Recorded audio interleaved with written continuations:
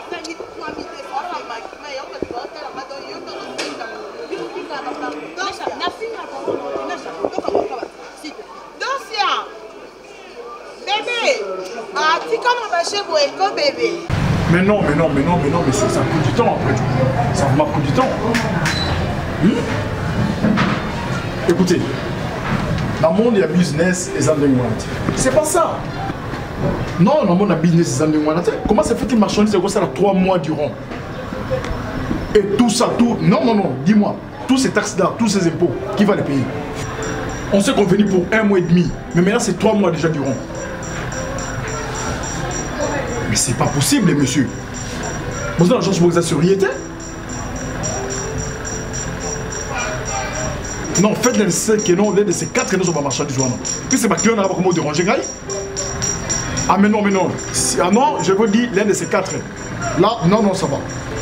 C'est pas possible, mon Nous sommes les fils de ces pays. Donc, ce que biloko na comme soit, ba oya wa na ko donner yango ba taxe likolo. Mais sozo ba partenaire de quoi Les gens qui viennent d'ailleurs, ba libanais, ba indiens donc bango tozo favoriser bango ke biso ba moko. Est-ce que commerce yango to to marché ndenge nini C'est pas possible. Ah, mon cher, donc euh, ça évolue quand même.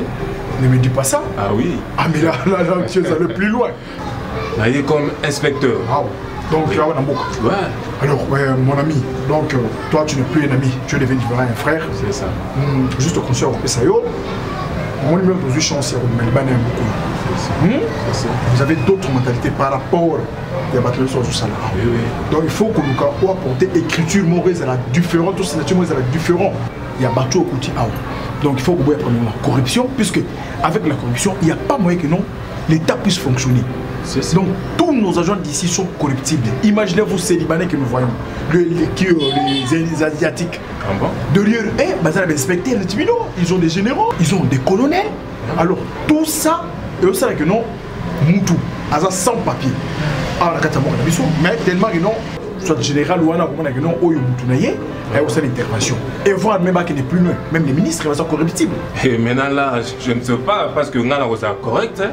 nga na servi na na servi mboka ouais eh, soki esengaki fimbu fimbu ah mais oui c'est ça bazonga na nzela surtout ça il faut bon mwana soki oyo non bainspecter na sika baleti basami lumbai baye mpo na kotravaille mpo na nation vous savez une fois le chef de l'état l'avait dit que non dans ce pays soki au moins nous avons 10 ou 15 personnes en bonne volonté hmm. on peut faire avancer ce pays ah donc derrière lui euh, il y a des gens qu'il faut que pour leur ventre à part ça comment va notre fils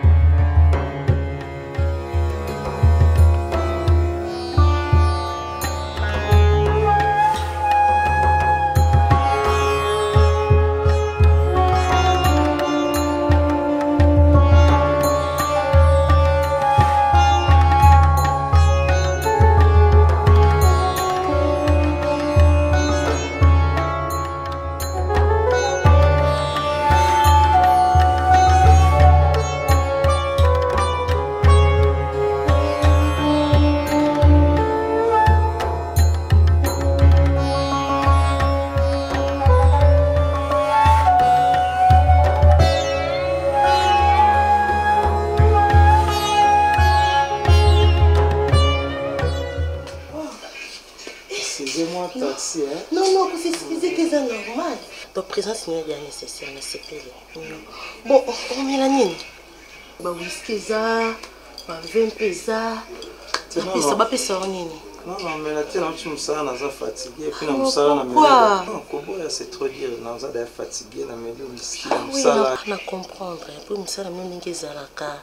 Bamba, bamba, mebe, na mukuru, meza, wana.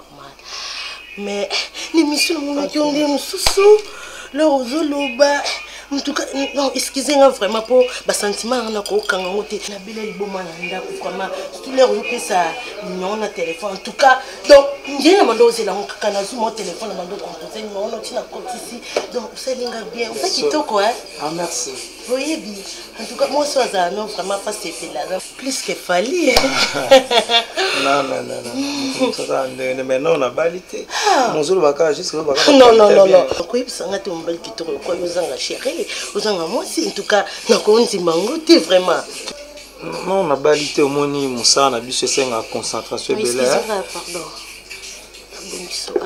Ah, ah, merci. Hey.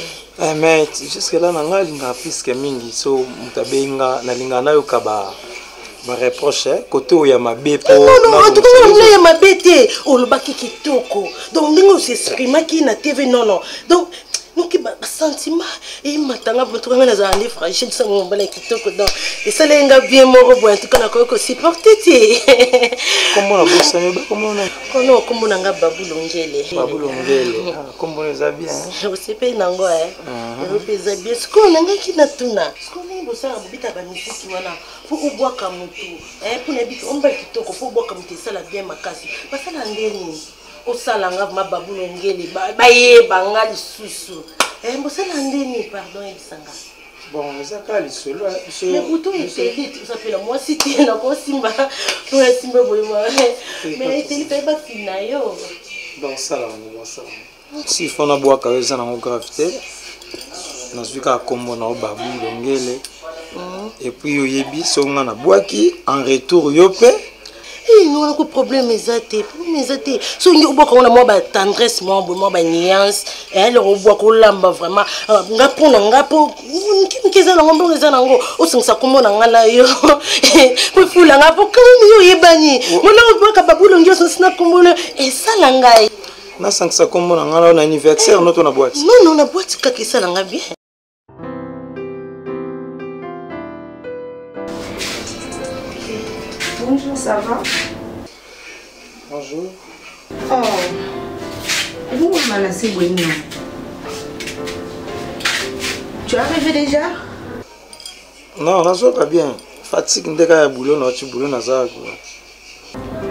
C'est bon, j'arrive à tout à l'heure. te na kutu na- ngai kutu nazolinga nde nabenga yo nayebisa yo moya na ndako eza te sikoyo papa abeyi nga a- sante eza bien te fo nakoma awa. Quoi Oh chérie. naza na ndako te nazolinga kuna azonga mama nazongela te mbala moko nazokeba papa Attends, attends chérie, attends. Oh chérie. Nini? Ebongo olie nde nini? Hey! Desava kasi. Nga so na longwe wana. mpo nabimi mpe na teni te so nalongi wana ngai nakemba mwa bwati oyo na pokwa na bwati hmm. pardon ea nango na sens te ea nango na sens ata moke toyebi bien ke soki osisi neti batemp repo nango ngai naye kopase journée wana mpona selo quelque chose à manger mais oui alors pourquoi pas lelo ah. na boite Onaanda ndenge. Ata wa noa kasi. Ah, d'accord. Ok, bye. Excusez. omoni sone bon nakolandela bapele no te eh, nakoki kotika yo te mpo bi papa nazobela toke ensemble totambola na yo oui kotambola na yo esala nga bien makasi pardon pardon babulongele yango wana kangi eh? yango wana eh, nzembe nakoma liboma pardon omoi mpe so klima eza bomi klima lelo eh donc nga so klima eza boye esala nga beteli nga naza pembeni ya ndenge mabe te mwa suka non nanga mwana suka te me nazalaka bandeko ya basi ya mibali boma bazalaka te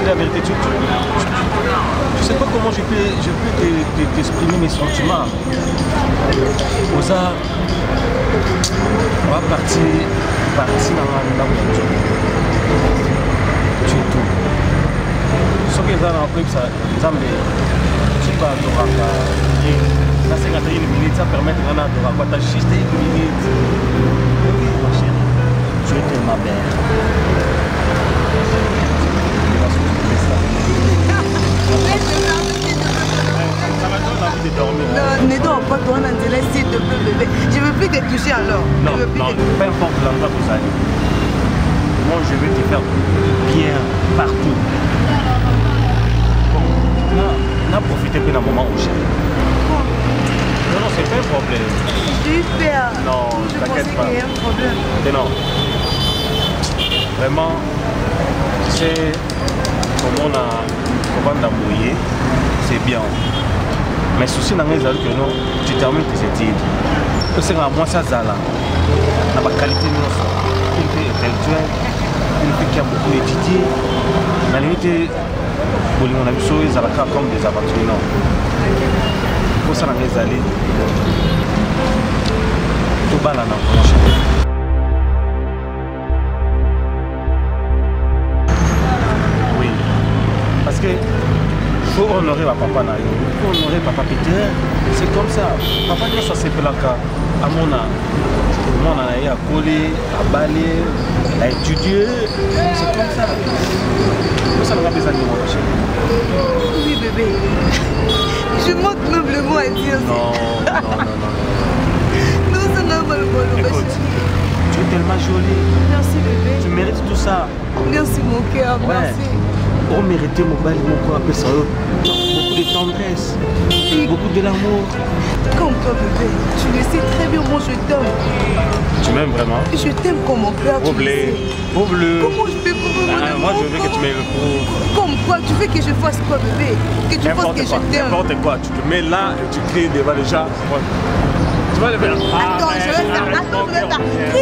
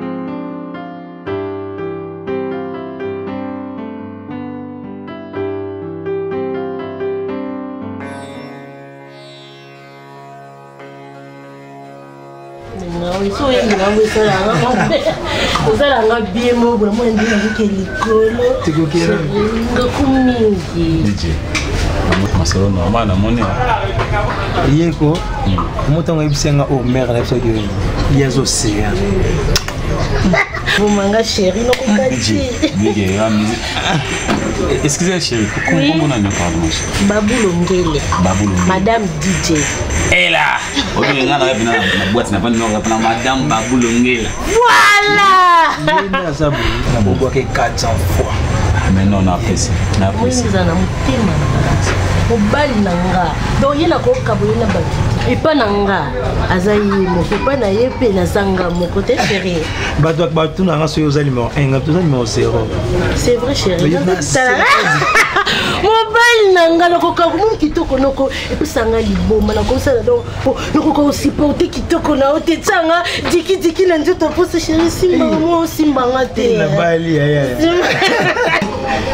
omoni ye nde aza ye